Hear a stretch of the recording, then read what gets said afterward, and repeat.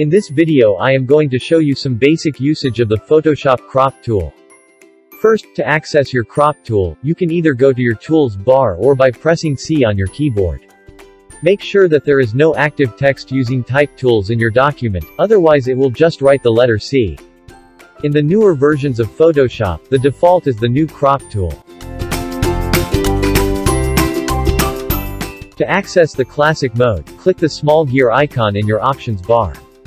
From there, you can see the Use Classic Mode checkbox or you can simply press the letter P on your keyboard. Let us use the new crop tool. Upon selecting the crop tool, you will notice that the crop border is automatically enabled around your image. To remove that, just double-click on your image. If you want to select the whole document again, click on any part of your image. And if you want to select a part of the image, just click and drag. One of the differences between the classic crop tool and the new crop tool is that, when you click and hold inside the crop area, you can freely move the image while the crop border stays in place. In the classic mode, you can move the crop border around the image. By default, Photoshop always shows the overlay. Those are the thin lines inside your crop area. You may change the settings by pressing the Set the Overlay options for the crop tool. The default is always Show Overlay. Let us try the Auto Show Overlay. This means that the overlay will only show when you resize the crop border. It is very handy since you can clearly see which part of the image you may want to show. And there is Never Show Overlay, where the overlay is hidden whether you resize the crop border or not. The downside to this is that it is difficult to see the center of your cropped image. And then there is Show Cropped Area. To access that, click on the small gear icon under the Use Classic mode. You will see the Show Cropped area, or you can just press H on your keyboard. This option is very useful because it will give you the option to see the entire image while selecting which part of the image you want to crop.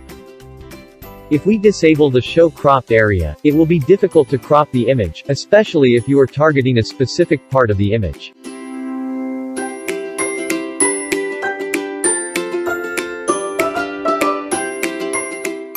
Under that, there is Auto Center Preview.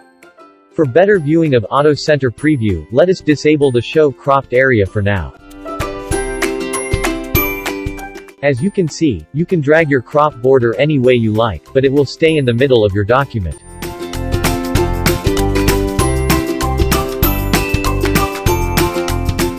If we disable that and you crop your image going to the left, the crop border will stay on the left.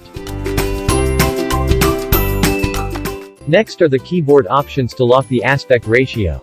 To lock the aspect ratio of your image, you may hold the Shift key while dragging the corner part of your crop border.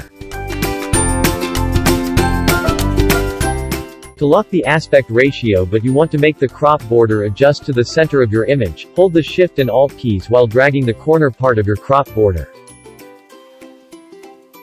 If you want to resize the crop border to the center of the image, press and hold Alt and drag the side crop handle.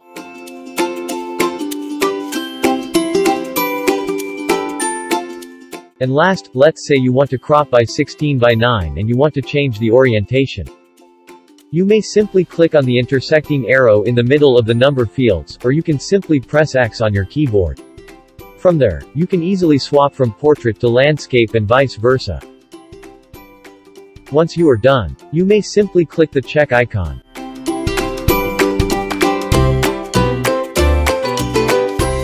Double-click in the middle of your crop area. Or by pressing Enter on your keyboard. That's it. Some common ways to use the crop tool. If you have any suggestions, comments, or ideas, please feel free to write them in the description below. Please don't forget to like, share and subscribe to my channel. See you on the next video and thank you for watching.